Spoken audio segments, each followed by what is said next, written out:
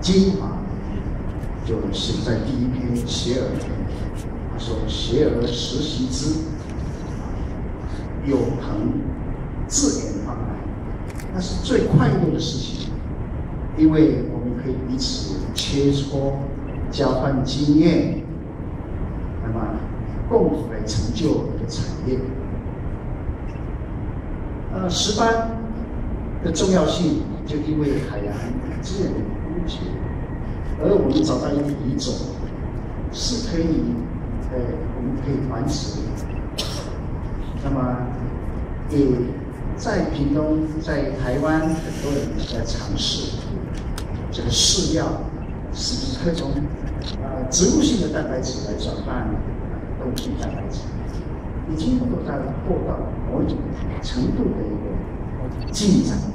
非常谢谢水市所跟这些饲料业者这样的努力。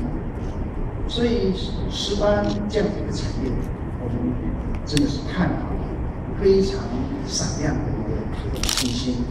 最近我拜访了一个叶子，他创造了青龙新的品种，长得很壮啊。这个蒋昆龙先生啊，我们去拜访，他又把新的一个繁殖产品。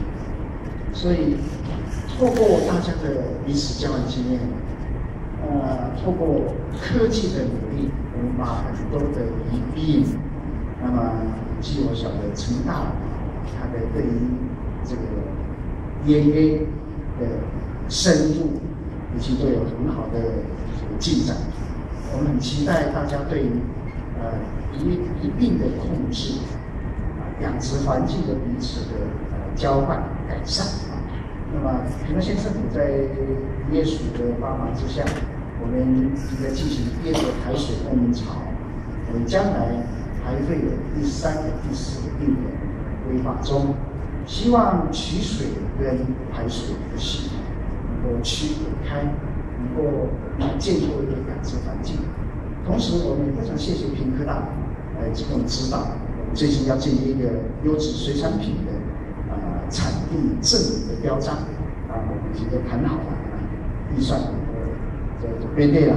那我们的内容就是在这个一年内。我们有三十场，包括呃合合作社的一个市场，那么我们要取得这产品标章，而且呃所有的验证程序的审查跟评科大的专业能够助力在这个厂区来辅导，所以我们希望这样的经验能够让消费者安心的使用啊，消费。生产者有责任要让消费者安心，也有责任对于碳足迹或者是各种的环保，都应当要负起一些责任。那么平东先生愿意在大家的指导下，啊，我们也能够做出一点成绩。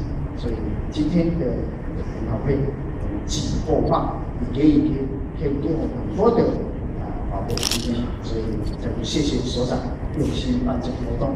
邀请了海内外专家来给我们指导，特别皮科大提供这么好的场所，特别将来邀请你们指导，所以谢谢大家，祝大会成功。